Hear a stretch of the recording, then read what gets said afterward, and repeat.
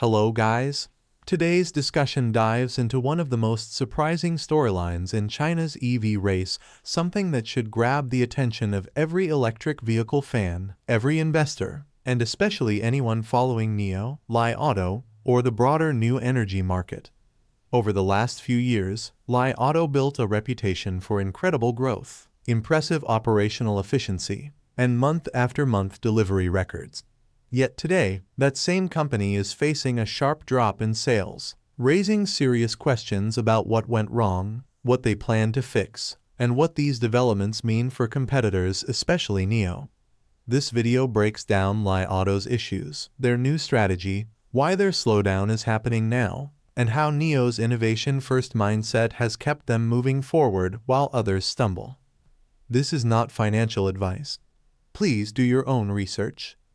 Let's start with the big picture. Li Auto, a company that once seemed untouchable in terms of delivery growth, is suddenly facing a sales decline that has caught the entire industry's attention. After stunning performance throughout 2023 and strong momentum early in 2024, the company has now reported a meaningful drop. Their October deliveries came in 16% lower compared to the same month last year and that is a dramatic shift for a brand that previously saw almost continuous year-over-year growth. A drop of that magnitude is not just a slight slowdown, it's a warning sign that something deeper is happening beneath the surface. Sales declines like these don't just appear out of nowhere. They often reflect cracks in strategy, product appeal, or competitive positioning. And in this increasingly crowded EV market, where technology advances every quarter and consumer expectations evolve rapidly. Even strong companies can stumble if they stop pushing forward. What's happening to Li Auto is a real-time case study in that reality. The company's leadership, including its president, has openly addressed the situation and pointed out several key factors behind the shrinking sales figures. What's even more interesting is how transparent Li Auto has been about its internal missteps. They've acknowledged that their innovation pace slowed and that their products began to feel too similar and predictable. Meanwhile, competitors, especially brands like NIO, kept introducing new technology, refreshed designs, and stronger software capabilities. Customers noticed the contrast. One of Li Auto's biggest admissions is that their product cycles have been too slow. Up until recently, Li Auto updated major platforms roughly every four years. In the EV industry, four years is an eternity. By the time an update arrives, competitors may have already released multiple new versions packed with superior technology. This is precisely why Li Auto is now planning to shorten their cycle dramatically from four years down to two. They want more frequent model refreshes, more distinctive design language, and more cutting-edge features across their lineup. Another major issue they highlighted is the late start on global expansion. While companies like NIO, BYD, and XPeng have been aggressively exploring international markets, Li Auto stayed mostly focused on China.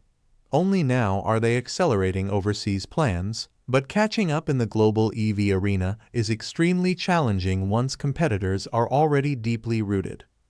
But the most telling factor in their struggle is their lag in advanced technology development, especially in autonomous driving and in-house computing power. Li Auto revealed that they are now spending around 100 million RMB per month to build their own automotive-grade chip and boost their computing resources. That is a huge investment and shows how far behind they feel compared to companies already producing their own hardware. This brings us to NIO, a company that has taken a completely different approach over the past few years.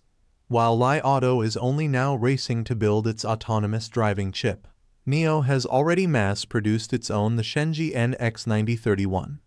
Not only is this chip powering the latest generation of NIO vehicles ET9, ET5 Touring, ES6, EC6, ES8, and others, but NIO is also supplying this chip to other automakers and earning millions through licensing.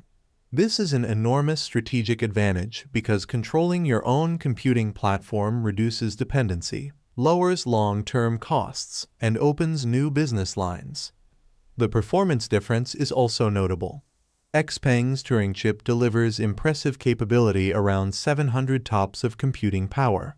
But NIO's Shenji chip exceeds 1000 TOPS demonstrating an entirely different level of engineering capability.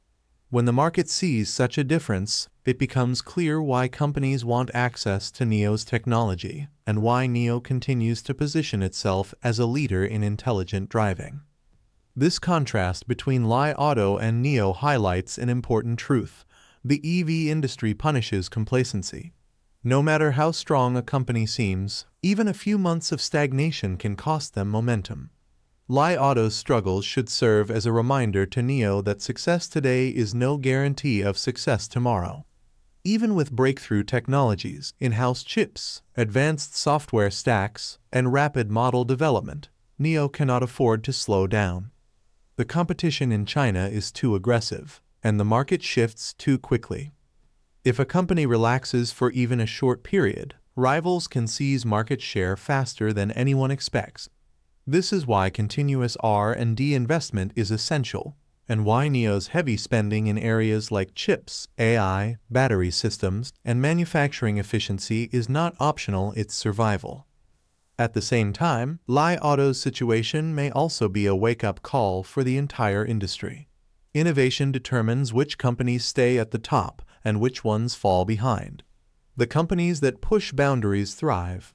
The ones that slow down even those that once dominated can suddenly face dropped sales, weaker demand, and shrinking market confidence. As investors, observers, or fans of EV innovation, we should pay close attention to how Li Auto executes its updated strategy. Shorter product cycles, smarter technology investments, faster AI integration, and a redesigned global plan sound promising, but will they be enough? That remains to be seen. Meanwhile, NIO must continue advancing its battery swap ecosystem, strengthening its autonomous driving system, refining its chips, and staying ahead of every major competitor. China's EV market moves at lightning speed, and any company that pauses risks being overtaken almost overnight. To sum it all up, Li Auto's recent sales decline isn't just a temporary dip. It's a reflection of deeper strategic issues, slower innovation, long product cycles, and delayed global expansion. Their leadership openly acknowledges these problems and has announced major changes ranging from AI investment to chip development to faster model upgrades. On the other hand, NIO's commitment to relentless innovation, especially in autonomous driving chips and intelligent systems, has kept them competitive even in a market as fiercely contested as China's.